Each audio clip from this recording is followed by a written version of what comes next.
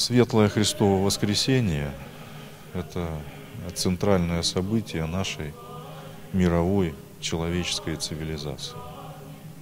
Еще есть Рождество Христово, пришествие в мир Мессии Христа Спасителя, потому что неведомый, непостижимый Бог, который объемлет и содержит всю Вселенную, Он может общаться с нами, людьми, со своим творением только на нашем человеческом языке. И Он сверхъестественным образом приходит в мир, рождается от Пресвятой Девы Марии. Но глубокое мистическое таинство – это все-таки Его воскресение.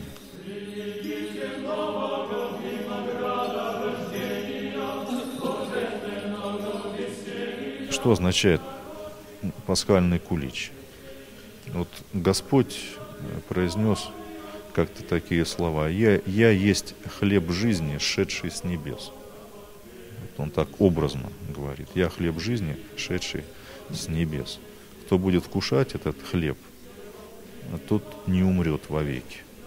То есть понятно, что смерть физическая, от нее никто не убежит, а смерть вот более таком глубоком а, толковании означает жизнь без Бога. Это жизнь совершенно автономная.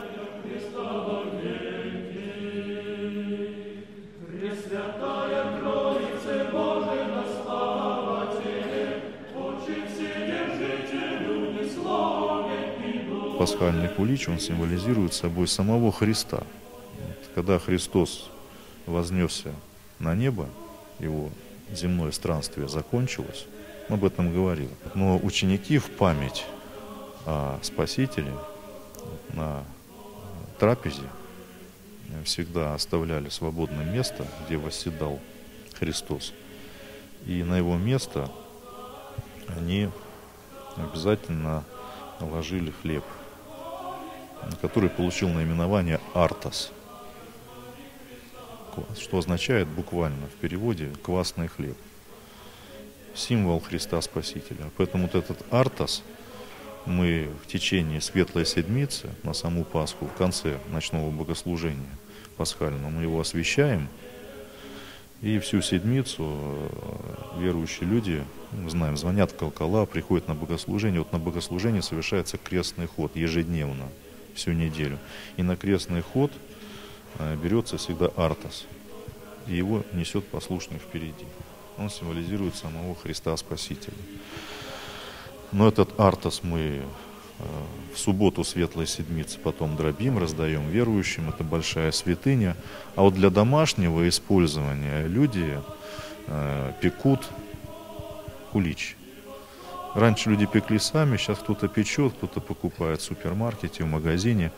Но это не просто уже квасный хлеб, а добавляется там изюм, сахар, э, много чего можно добавить, чтобы он был вкусным. Ну, собственно, это символизирует собой э, радость э, жизни с Богом, сладость райской жизни. То есть такой символ. Символ Христа Спасителя и символ рая вот этот пасхальный кулич.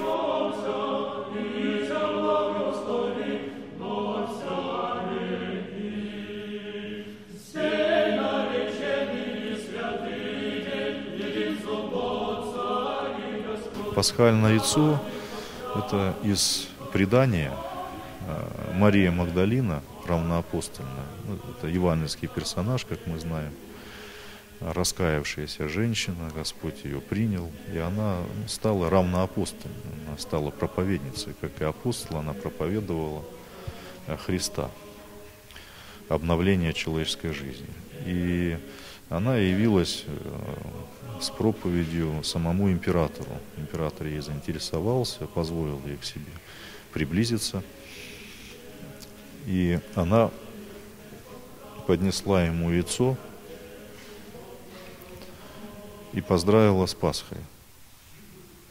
императора-язычника, который ну, ничего в этом не понимал. Говорит, Христос воскресе. И император ответил, я не, не верю в воскресение тела, не верю в воскресение Иисуса Христа, и скорее вот это яйцо, которое ты мне даешь, оно покраснеет, нежели я поверю в то, что Христос воскрес. И на его глазах это яйцо покраснело. И вот такой обычай с того времени. Красить яйца, но первоначально красили именно в красный цвет. Ну а потом стали красить там то во что гораст. Вот, но само яйцо символизирует собой жизнь. Ну, можно сказать, вот гроб Господень, да, тело было положено во гроб, запечатано, завалено камнем, и потом силой Божией происходит воскресение, камень отлетает, и, собственно, ну, яйцо тоже в нем сконцентрирована жизнь, там тенец живет, потом вылупляется, эта корочка вот, спадает, трескается. И что яйцо это символ жизни, символ воскресения. Символ гроба Господня, который был разрушен, из него восстал Христос. Поэтому вот все очень символично. Воскресение Христово видевше, поклонимся святому Господу Иисусу. Пасха символизирует Э, горний Иерусалим.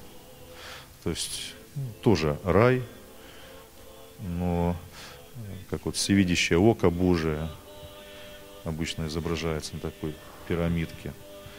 Вот это символ небесного Иерусалима, но в котором уже не будет ни домов, э, ни городов. Это символ рая, где сам Бог будет пребывать во всем абсолютно во всем. Придите верни,